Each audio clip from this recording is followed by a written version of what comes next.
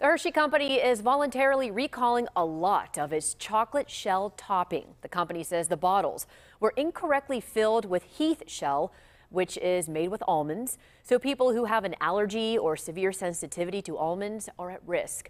Affected bottles were sold after April 15th. You're eligible for a refund. There have been no reports of anyone getting sick.